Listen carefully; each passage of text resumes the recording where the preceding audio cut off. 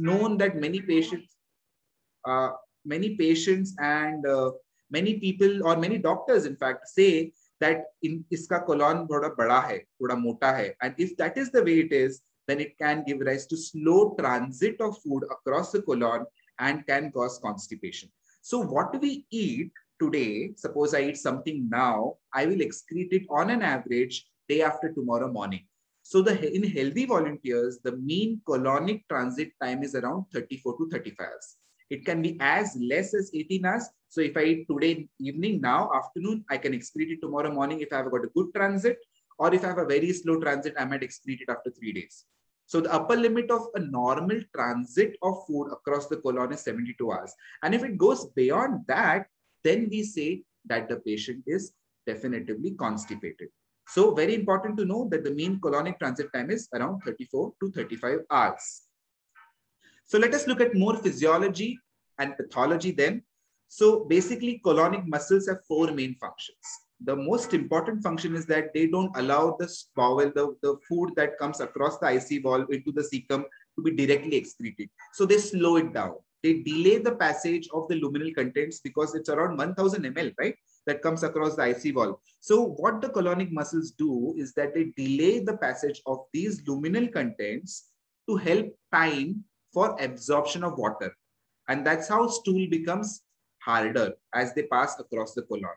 The second function is that they mix the contents of the colon and allow as much as contact of this particular mixture that comes from the ileocecal valve into the cecum to get into contact with the mucosa for absorption of water. The colon also stores feces. So that's why we don't go to the washroom every, I mean, throughout the day is because the colon, the function is to store the feces between the episodes of defecation. And when we want to go to the washroom, the colonic muscles contract and they propel the contents of the colon towards the anus and the rectum and the anus. So this is very important to know is that when we strain, when we sit in the toilet commode and when we strain, what happens is that the anorectal angle that we see over here gets becomes obtuse. That means widens. So when we strain, the anorectal angle widens, the puborectalis muscle becomes loose. There is a descent of the pelvic floor downwards. There is a relaxation of the internal as well as the external anal sphincter, and there is a contraction of the rectum. And all this in synergy is important to help you evacuate your stools. So when we sit, see the angle is less acute. That is, it is it is less obtuse. Sorry. So when we sit, it takes the the stool go across this particular angle like this. So it is more obtuse. I mean, uh, it is more acute. But when we squat, that is when we sit in an Indian style of toilet, when the when the hips become flexed here, the angle becomes more obtuse. So the stools take less effort to pass from the rectum to the anal canal. And hence the squatting position is very important to help pass stools efficiently. And hence the Indian toilets are much better as compared to the Western commodes when it comes to the act of evacuation of stools. Hence, the obtuse angle is very important. This is very important when you have to tell your patients of how to sit on the toilet if they are constipated. Another important thing is that when we wake up in the morning, when we walk, and when we eat a breakfast, this is the time when the colonic activity is the best. So the urge to pass stool is most likely going to be in the morning when you eat something or when you drink some coffee or when you take a hot drink. So that urge will be most in the morning. And what you have to tell your patients is that to use this particular reflex, which is the gastroileal or the gastrocolic reflex, which can help the patient defecate better. Also, small and hard stools are more difficult to pass than large or soft stools. So if the stool is bulky, if the stool is soft and it is large, it is easier to pass that stool as compared to gole, as compared to small or hard stools. So very important for the stool to be soft and large for it to be evacuated easily. So this is how I again depict, this particular angle in the particular picture is that when you go in a squatting position, the angle becomes less acute, that is more obtuse, and there is a better descent of the pelvic floor as compared to when we are sitting on the Western type of toilets. So many patients will come to you uh, regarding I am constipated. So you have to really find out whether they are constipated or no. And the best way to find that is by defining constipation. So how do we define constipation? And this is the latest criteria for constipation. And constipation is defined as it must include at least two of the following six criteria present for the last three months, at least six months prior. So it should be more than two criteria which should be present for the last three months with the onset of symptoms at least six months prior. And what do I mean by these criteria? The patient should complain that he's training while passing at least one fourth of the stools. He should complain that he is having lumpy or hard stools during one fourth of the defecations at least. He should say that he has a sensation of incomplete evacuation, sensation of anorectal obstruction or blockage.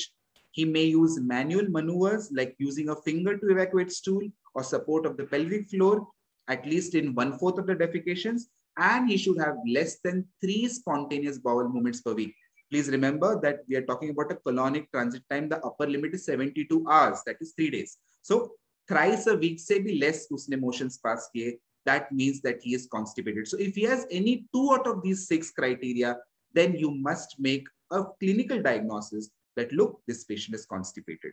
At the same time, in constipation, rarely do you have loose stools except when the patient is using laxatives. So if the patient is saying I pass normal or loose stools, that that patient is not constipation, constipated. And yes, of course, the patient should have insufficient criteria for IBS. Now, IBS is something which is very closely related to constipation. And how do we define IBS? Is IBS is when you have abdominal pain. In constipation, you may not have pain. May or may not, more likely may not have pain. But in IBS, you do have pain. And when you have pain associated with defecation or abdominal pain associated with change in the frequency of stools or abdominal pain associated with change in the form of stools, then we make a clinical diagnosis of IBS. So please understand that here we have abdominal pain and with that pain, there is motions. With that pain, there is change in frequency of stool. And with that pain, there is a change in the form or appearance of stools. And when this is present, at least for more than a day in the week, in the last three months with an onset of symptoms more than six months prior to the diagnosis, then we make a clinical diagnosis of irritable bowel syndrome. Now, very important is that we rule out certain warning signs. And when these signs are present, this patient is not IBS.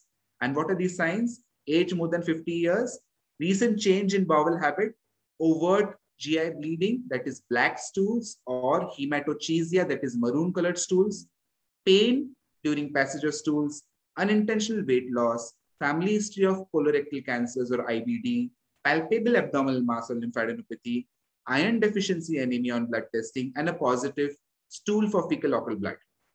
Now, if these uh, warning signs are present, then the patient is less likely going to be irritable bowel and more likely going to be some other pathology of the colon.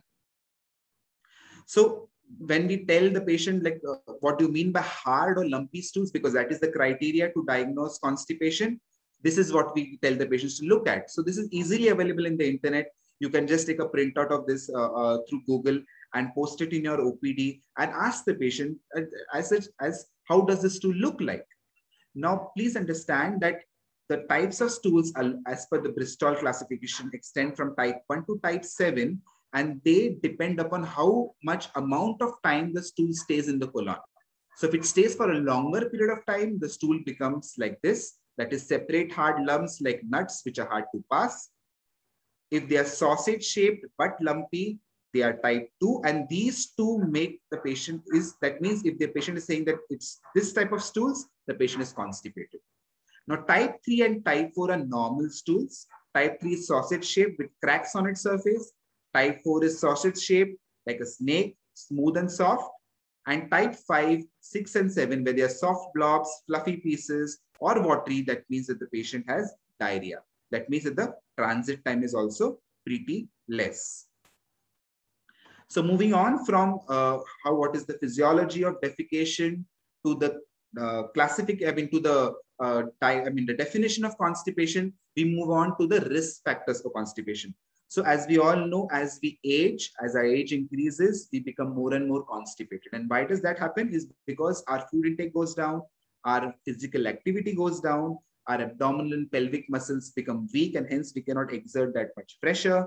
Most of patients with advanced age, I'm not saying most of it, but many of them have chronic illnesses. They may have some psychological factors and they may be on certain medications that itself causes constipation. And hence advanced age is a risk factor for constipation. Also, being a female, you tend to be more constipated as compared to males. And that's because of high progesterone when females have, which is not present in males that make them slightly more constipated. Also, low level of education, low level of physical activity, more of desk job and sedentary lifestyle, low socioeconomic status, multiracial ethnicity, and certain medications are also risk factors for constipation. So when a patient comes to you in your OPD complaining of lumpy hard stools, difficulty to pass stools, training, manual man removal maneuvers, less than three bowel movements per week, and you know that, look, this patient could, is, is fits into the definition of constipation, then you have to classify this patient into whether there is an organic cause for constipation, which is seen in 20% of cases, or this constipation is functional.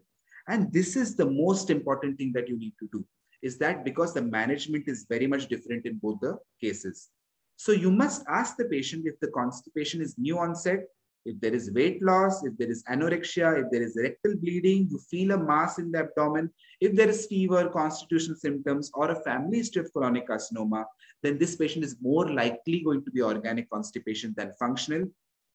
Please understand, and this is what even I use to differentiate patients, is that if the patient is coming of long-standing symptoms, एक साल से motion नहीं हो रहा है दो साल से मोशन नहीं हो रहा है then this patient is more likely to be functional and not organic so less likely to going to be cancer or something else and more likely to going to be functional as compared to a shorter onset of symptoms so in organic causes which is a minuscule one fifth of the causes of constipation the most common is cancer that's the most common thing that we we and, and that we also think about कि कहीं कहीं यहाँ पे stricture तो नहीं है कहीं यहाँ पे growth तो नहीं है left colon में and this is making the patient having a mechanical obstruction in passing stools. A very important cause for organic constipation is medications.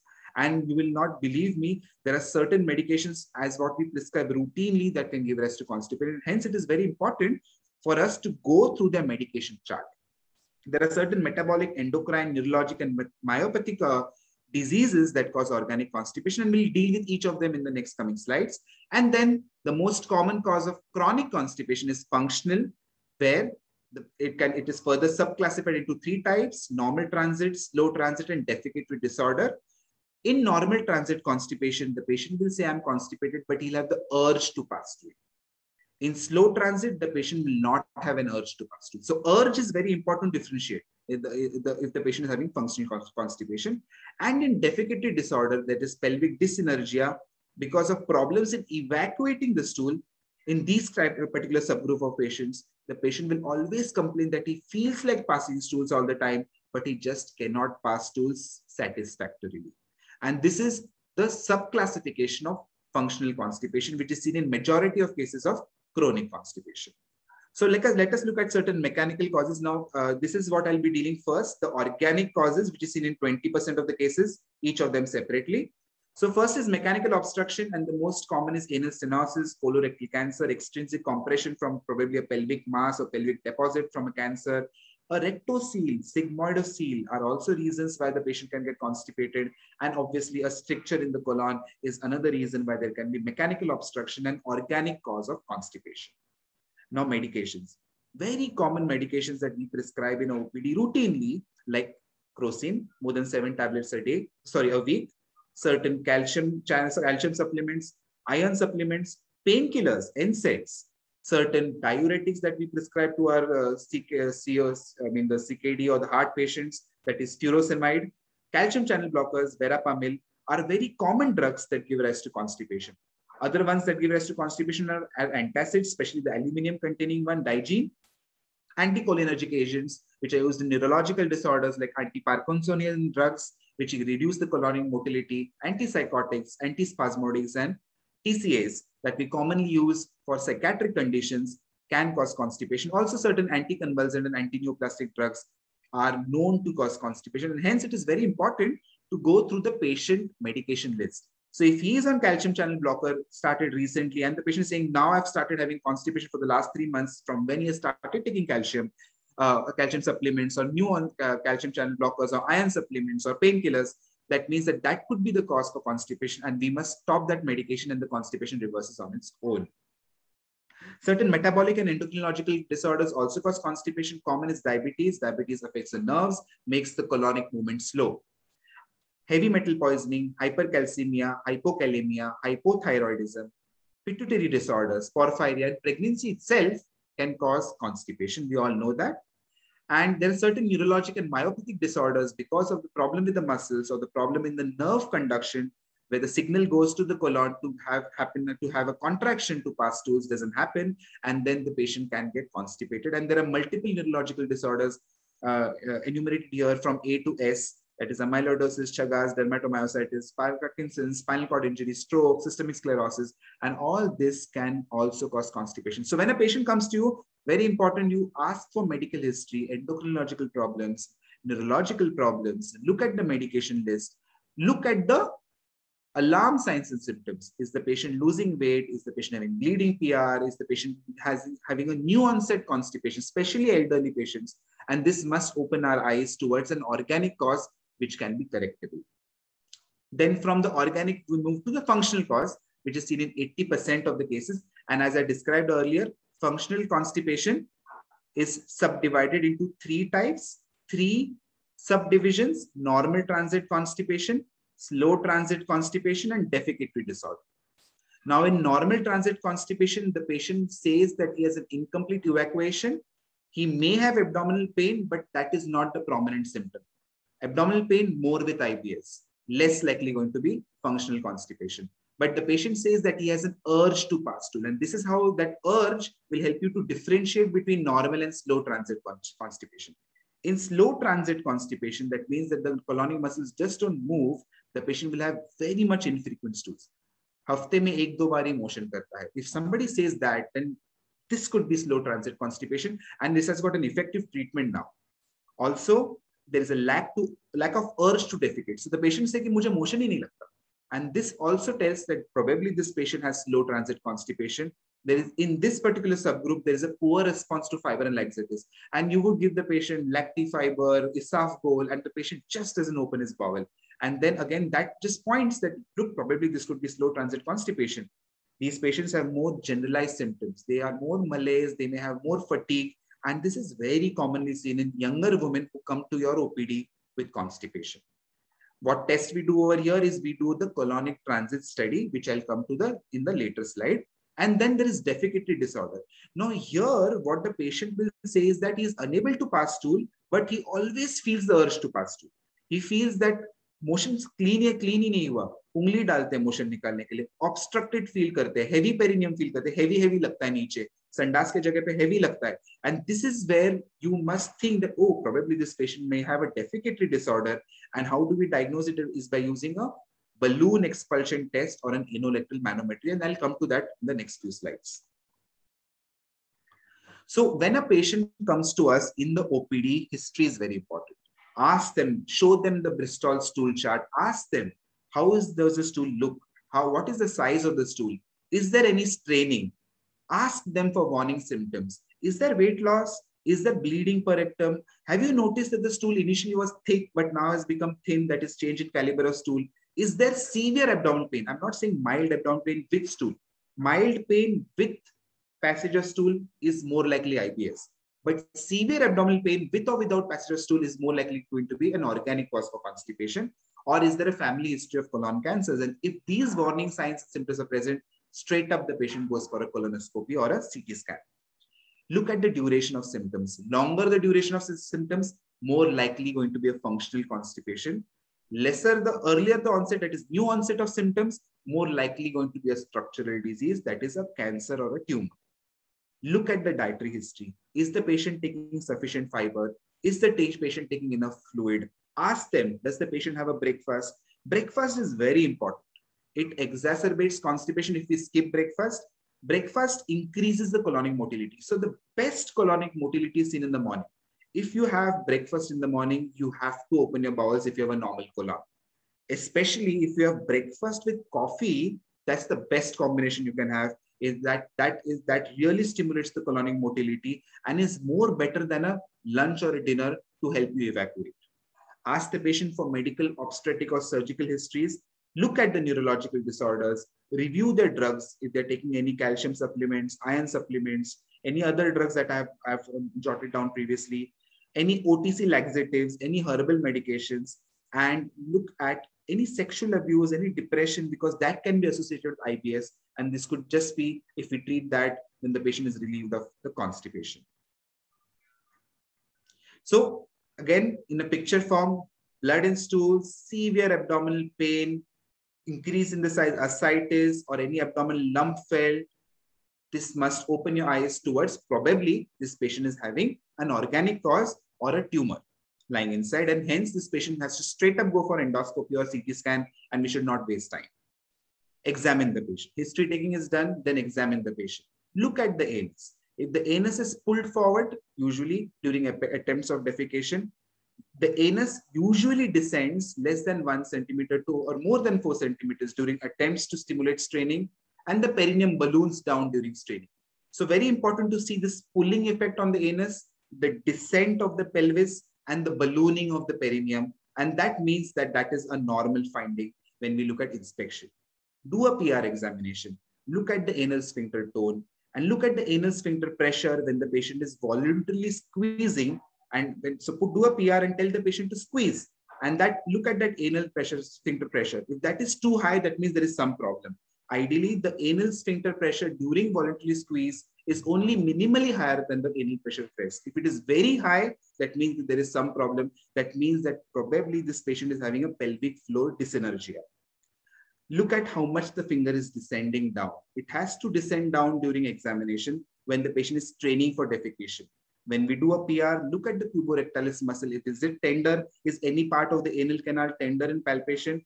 Is there any prolapse of the mucosa down while they are passing stools? Or is there any defect in the wall of the rectum, which is suggestive of rectocele, which could be contributing to the constipation of the patient?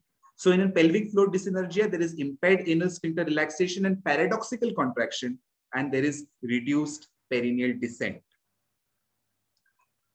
So once you examine the patient, so the patient comes to you, make a diagnosis of constipation. Then you classify organic or functional.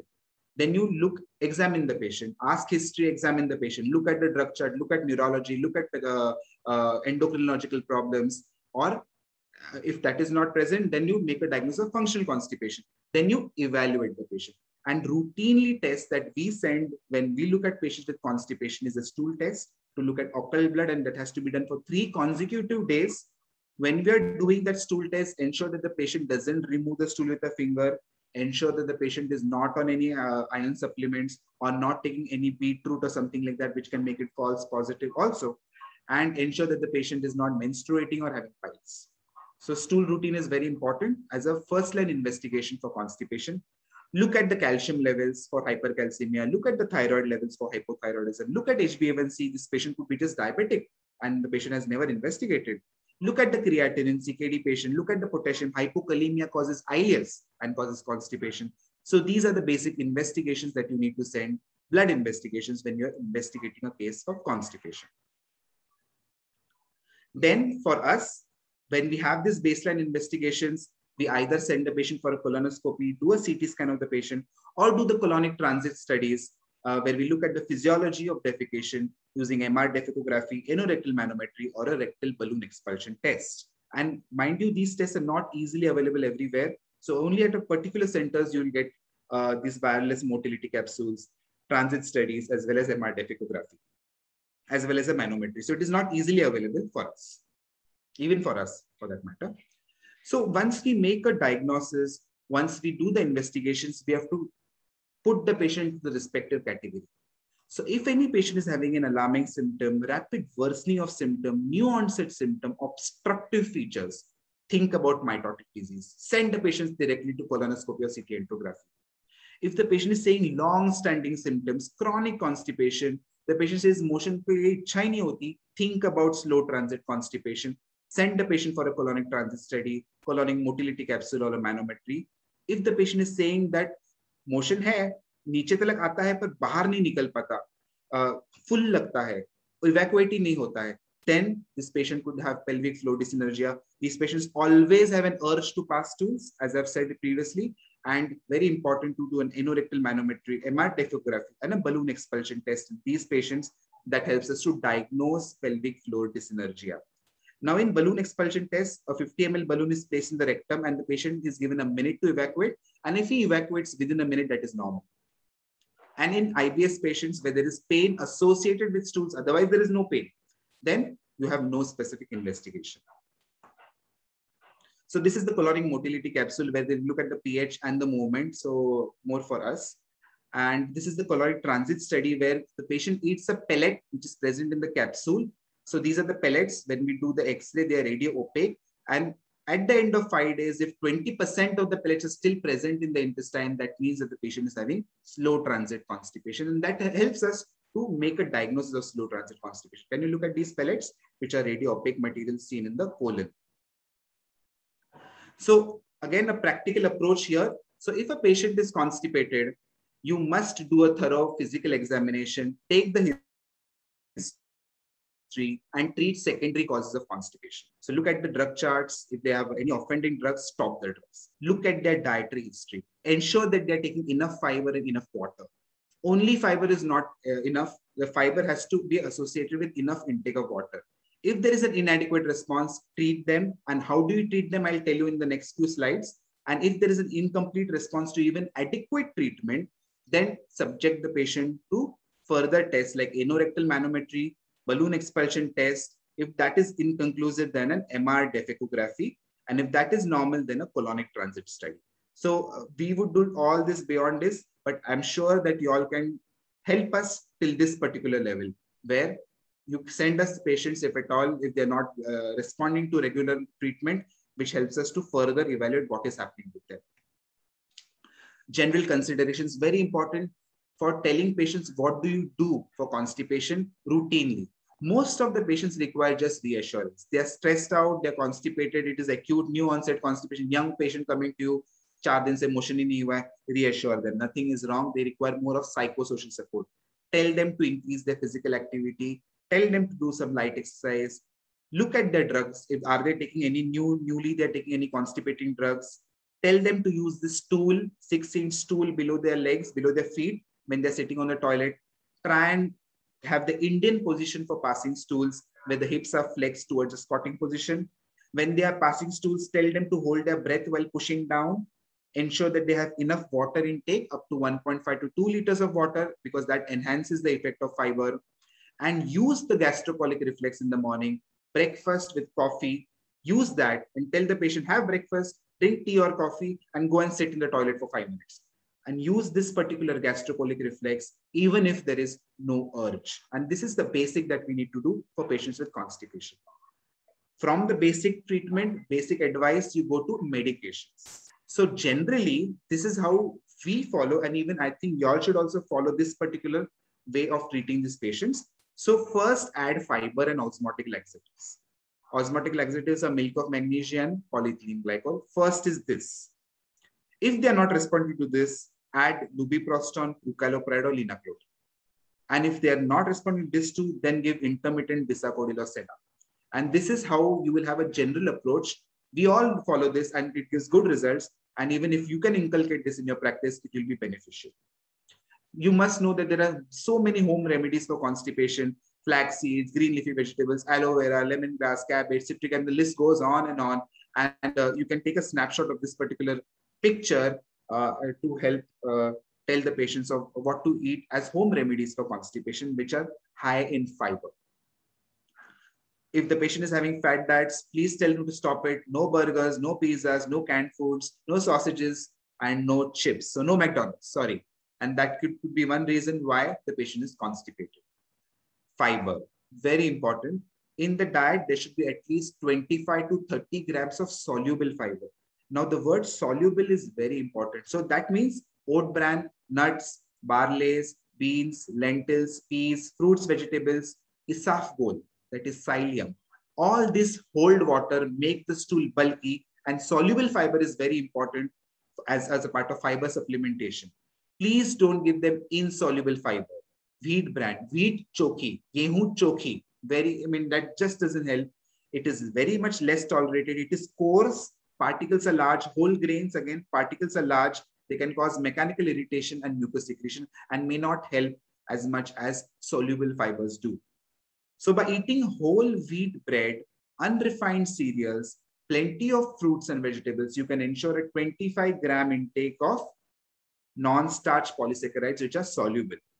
The problem with fiber is that if patients say they are bloated, so if a patient comes to constipation and you have to decide what to give, fiber or polyethylene glycol, and then ask the patient, fulla fulla लगता gassy gassy gassy लगता है हाँ बहुत ज्यादा लगता तो avoid because the side effects of fiber is abdominal distension, bloating, flatulence. It, can, it has poor taste and can lead to poor patient adherence. Though we have more of flavored fiber coming in now, is uh, flavored isafgol that is Fybogel, in orange flavor coming in. So that really helps with the taste. But again, if the patient is saying बहुत ज़्यादा plate फूलता है, try and avoid fiber as much as possible and fiber is a strict no in pelvic floor dyssynergia where the patient has a continuous urge to pass stool as I described previously, and fiber can do more worse than benefit in these particular group of patients. So fibers that are commonly available outside, the most common is psyllium isavgol. It is ground seed husk of isavgula plant. When it com gets combined with water, it forms a gel and hence increased intake of water is very important. Isavgol with two glasses of water is very important. Isavgol undergoes bacterial degradation and can give rise to bloat and flatus. So this is the problem with isavgol and hence many patients discontinue isavgol because of this particular problem. Moving on from fiber to osmotic laxatives. So as I said, the first thing to give is fiber or osmotic laxative or a combination. Bloat ho raha hai to fiber mat do, osmotic laxative do. In osmotic laxatives, we have got magnesium, milk of magnesia. The most commonly used thing we give for patients is milk of magnesia. Look at the dose, 50 to 30 ml once or twice. Very important to give the adequate dose for these patients. Problem is hypermagnesemia. So milk of magnesia, excessive can cause hypermagnesemia, avoid in children and patients with kidney failure. Second is lactulose that we commonly use, very commonly seen Lactihep, Duphalac, uh, and so many other brands that are present, which are poorly absorbable sugars and the dose again here is 15 to 30 ml once or twice a day. Problem with lactulose is again gas and bloating. And then we have other poorly absorbed sugars like sorbitol and mannitol, which we don't commonly use. Sorbitol is the artificial sweetener, sugar-free, and mannitol, which we don't routinely use for constipation. Uh, the other best drug in poorly absorbed sugar is polyethylene glycol. So if, if the patient says ki mujhe fiber, isafgol se fula fula lagta give them polyethylene glycol and that is as effective as fiber. Polyethylene glycol, the dose is 70 to 34 grams once or twice a day. So two scoops in a glass of water is sufficient. Polyethylene glycol is not digested bacteria, so causes less bloating, less cramps. It is tasteless and odorless.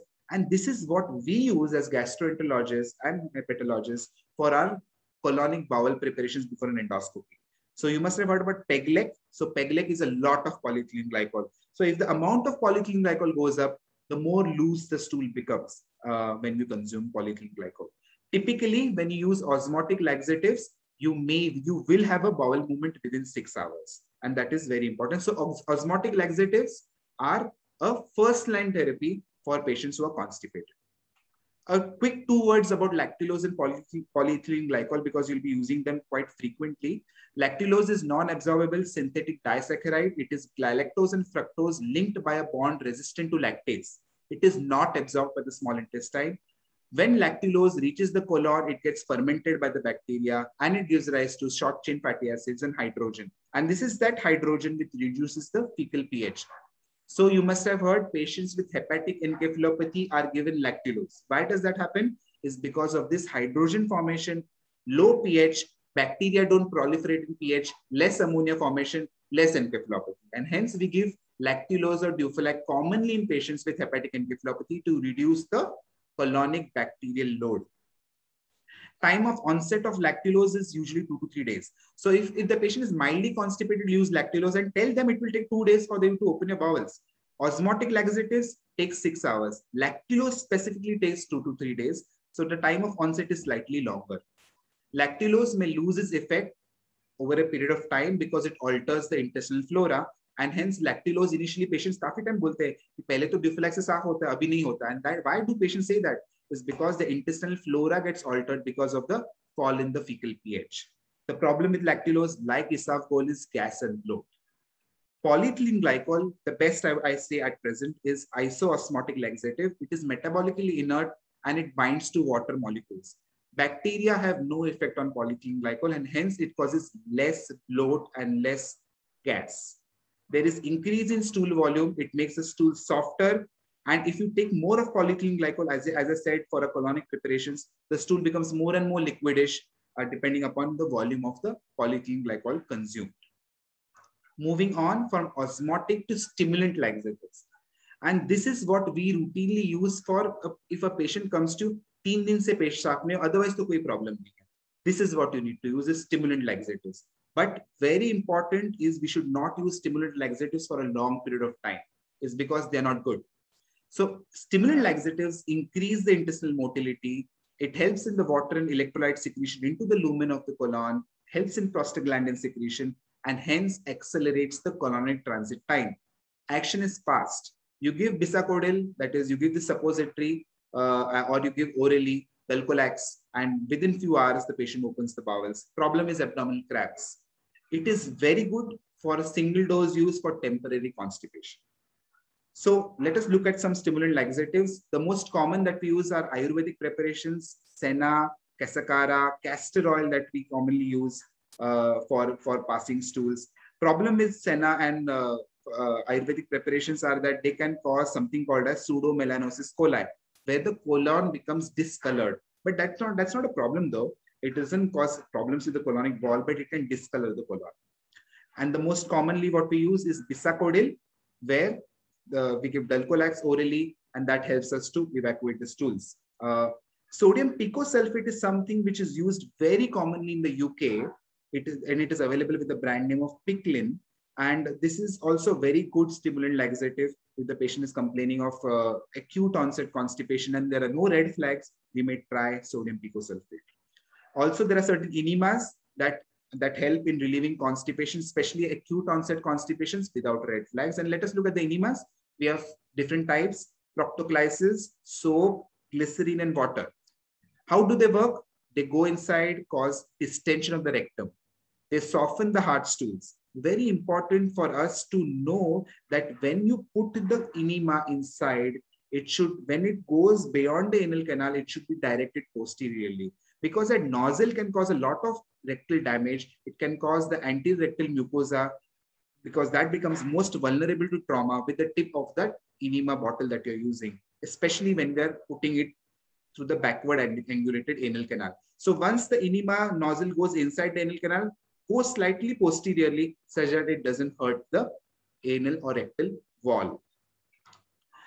Regular use of bisacodyl suppository is unwise if a patient says कि मैं रोज Dulcolax लेता हूँ Dulcoflex लेता हूँ just tell them not to do it is that because it alters the rectal surface epithelium and the crypts and it is not good in long term use now there are certain new agents available we all know it we all have used it and the most common of them which are at present available in india is lubiprostone linaclotide is going to come soon and prucalopride so lubovelle and Pruvis or Pruvic, which many of us would be prescribing at present.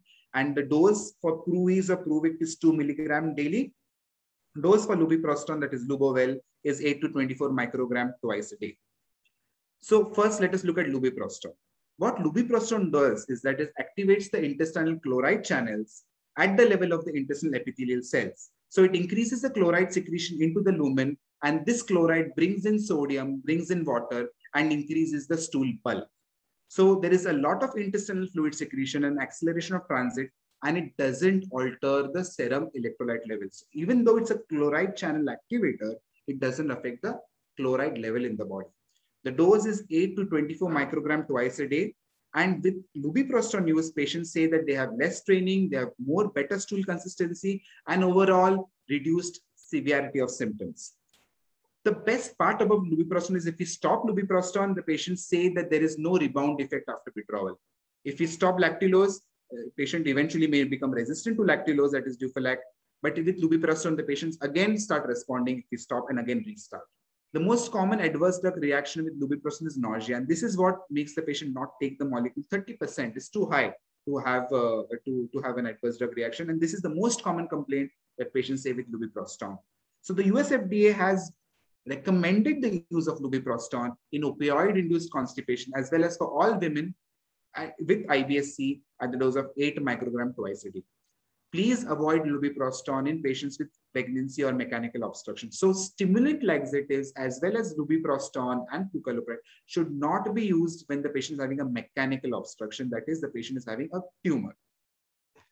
Second drug is linaclotide going to come soon to the Indian markets. Uh, it activates the CGMP receptor on the luminal surface of the intestinal epithelium, causing increased levels of CGMP and hence increased secretion of chloride and bicarbonate into the lumen, intestinal lumen. Chloride and bicarbonate pull water along with it and increase the bulk. So secretory agents into the colon. Problem with linaclotide is diarrhea. The, again, the problem is that linaclotide cannot be used in pediatric patients and the dose is you start with a higher dose, 145 microgram once daily, and then come down when symptoms are better to 72 micrograms daily. So linaclotide is the new molecule which is going to come soon to the Indian markets, which is going to give you another option than lubiprostone and prucalopride. Prucalopride is 5-HT4 agonist. Now what 5-HT4 does is that it stimulates the motility of the colon.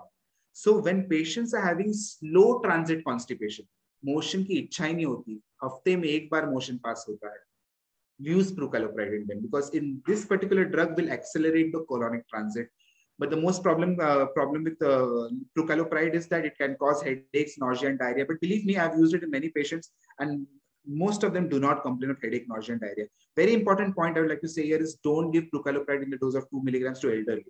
If it is more than 60 years of age, one milligram. That's the dose and the patient uh, and with prucalopride there is no cardiac adverse drug reactions because they are these are 5HT4. It was thought that probably there would be cardiac adverse drug reactions, but none of them with prucalopride at present. So what choice of drug will you make at the end of the day? The patient comes to you, what will you give the patient, right? So the number needed to treat, that means that if I give three patients osmotic or stimulant laxatives, it will work. So it will not, it may not work in two patients, but it will work in one of the three particular patients. The number needed to treat, lesser the number, more effective the drug is. So the best drug here is polyethylene glycol, only 2.4. So the first choice, as I said, fiber.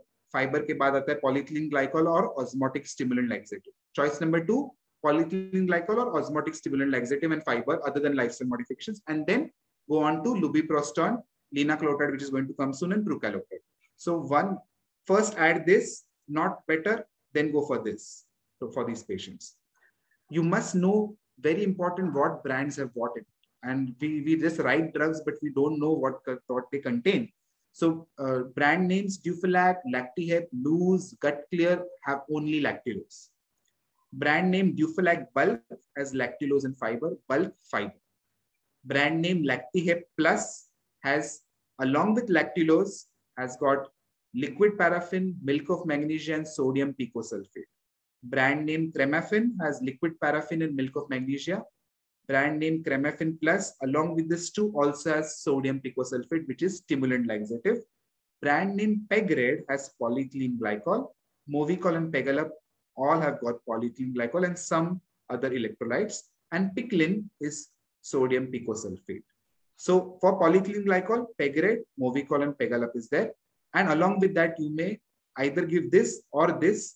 And if the patient doesn't respond to this or this or a combination of this, then you go on to prucalopride or linaclotide or lubovel, that is lubiprostone. So the choice of drugs functional normal transit constipation. So we are not talking about organic constipation. Organic constipation treatment is, you know, colonoscopy, find out what is the cause for the organic problem and treat it accordingly. Find the drugs, re remove that drug from the patient's medication list. But if it is a functional constipation, normal transit, give them fiber, polyethylene glycol, liquid paraffin, don't respond, add prucalopride. If it's a slow transit constipation, increase their water intake, fiber and all. If they don't respond, prucalopride. It increases the colonic motility. Functional constipation, slow transit constipation, prucalopride, drug of choice. And in pelvic floor dyssynergia, avoid fiber. As I told you previously, give them polyethylene glycol, help them to do biofeedback exercises, diaphragmatic exercises, and relaxation techniques. And that might really help these patients with pelvic floor dyssynergia. More newer and newer drugs are coming in we have Elobixibat. We have got other 5-HT4 agonists, prucalopride ke bade bhai, naronapride, velusetrag. We have got sodium hydrogen exchange inhibitor, tenapanor, which is going to come soon to the Indian markets, and obviously the CGMP GMP agonist, other than linaclotide, plecanatide, which is again going to come to the Indian market soon. So with this, I would like to thank everybody for the patient listening. And I hope uh, this has been informative to you. This has helped you to make an informed choice of how to identify these patients with risk factors, without risk factors, what are the choice of drugs that you use for these patients. And that would really help you to have a better, more easier practice and good patient satisfaction. Thank you so much for your patient listening. If you have any issues, you can always feel, please feel free to call me and I'll be very happy to help you out. Thank you once again and thank you. Um, we have seen Dr. Uh, Amey sir, ki, uh, you have um, such an eminent speaker that you have been covered almost all um, the basic uh, questions actually. There is no more than the chat box. There is some questions. Uh, there are some Ayurvedic drug like castor oil and all that to be used or not. But I think you have um, uh, softener, laxatives, or the fibers, or the uh, drinking waters. Almost you have covered each and everything about the treatment basis. The second thing, those are should we encourage the patients uh, to have the things because they are having the habits of coffee, tea, or sometime morning newspaper reading uh, before going to the news uh, before going to pass the stool. Uh, they have some habits of mashari or tobacco also, or some yeah. cigarette smoking also. So, we could... so that is stimulation, stimulation ah. of the gut. mm-hmm. But I'll tell you the best way is good nashta, go for a walk, have coffee. Best yeah, way yeah. to open your bowel. Correct, correct, correct. And even we have seen that most of patients having the gastrocolic reflexes actually, they're likely to pass the stool after the food or after the breakfast. Yes. Should we entertain them then? Absolutely, especially with... with... the constipated, yes. Yeah, yeah. Uh, in fact, tell them that even if you don't feel the urge, do just go to the washroom and sit, and you might just pass your stool. You know, uh, especially when they're constipated. Okay. Uh, Dr. Jumani, can I ask one question? Sure, sure. So most of the time, the patients, as you mentioned, they because of a Mumbai lifestyle, early morning they don't have having breakfast there, but they have a history of late defecations. It is not in the morning, but afternoon.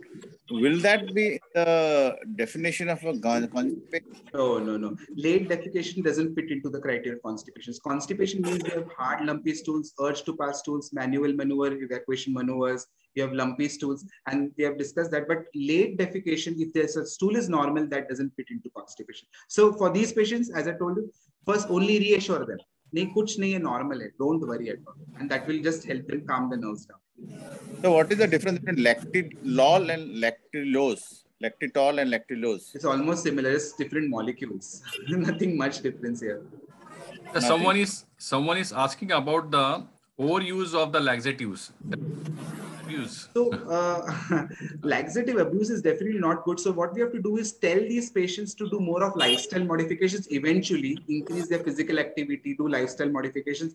But in some patients like, uh, for example, slow transit constipation, just cannot do anything about it. You have to give them uh, uh something like a prucalopride for lifelong or I mean, you can just give it for six months, 12 months, 18 months, 24 months till, till, till it becomes safer. And we have seen with these laxatives, it doesn't really cause much serious side effects. But yes, the stimulant laxative should not be used. So if somebody is using Senna, somebody is using Ayurvedic concoction, somebody is using Bisacodyl, Dulcolax, that is bad because that can further affect the colon. It can cause cryptitis, crypt loss, and colonic problems, and that should be avoided. So the idea is to give them adequate dosage, dosage and duration and just over a period of time wean them off with good lifestyle modifications.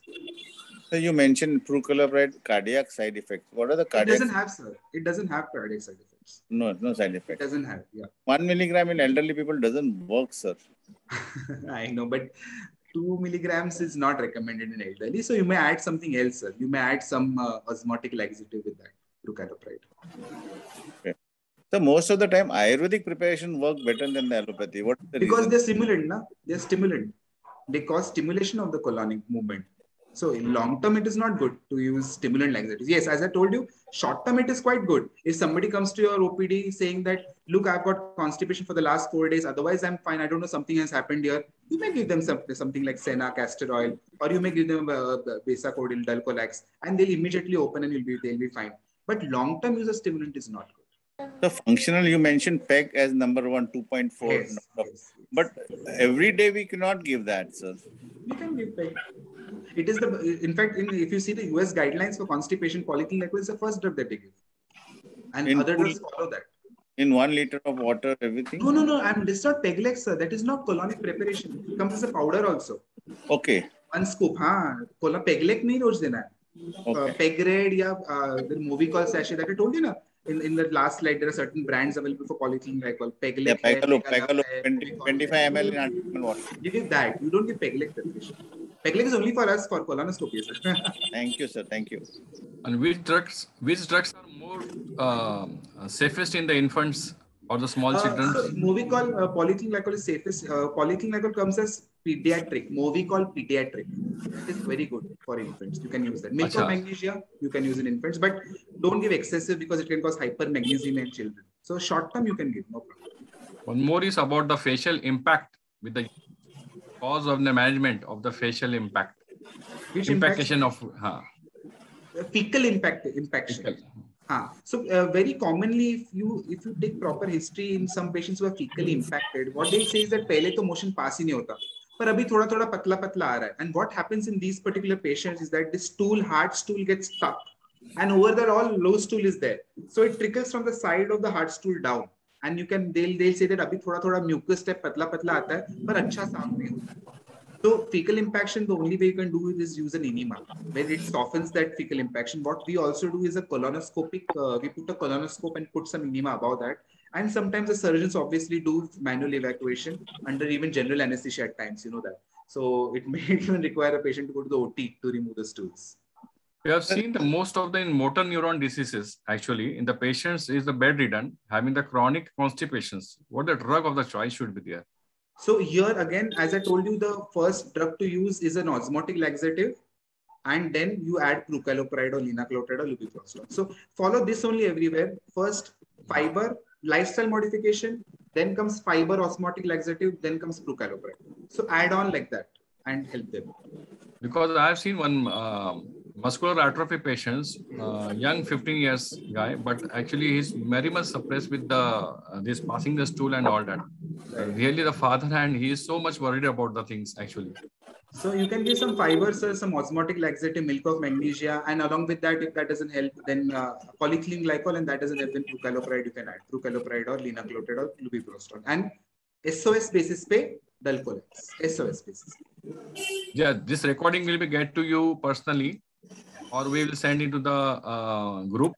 Uh, kindly note that. And sir is in the hurry because he's having the second another lectures by the six o'clock. So we will try to end the session. But And we I take this. more. We can have more. I've got common common topics like uh, bloat, gas, dyspepsia, GERD. Very common topics that everybody sees in OPD. Yeah, yeah. Second is approach to LFT, liver fun- abnormal liver function test. Approach, just the approach. How what Yes, will you sir, do? How yes. will you see? How will you evaluate? Yes, sir. Third is uh, cirrhosis overview. That also we can have. NAFLD, non-alcoholic fatty basics and beyond. So that is also ready. Okay, okay. Thank you, Okay, sir. sir. Thank you, sir. Thank you. Thank you very much. Lecture. Excellent lecture, Thank sir. you. Thank you so much. Sir, a probiotic also helps uh, uh, for in certain patients. It may help, but uh, not recommended as a treatment for constipation. Probiotic more for diarrhea. Okay. Thank you. Thank you so much, sir. Thank you, sir. Thank you. Have a nice day. Good evening, Can everyone. manual, Thank you to the, all, of, all of the participants. Thank you very much. We'll end the session. Manual, manual evacuation, evacuation. Dr. Arun, would you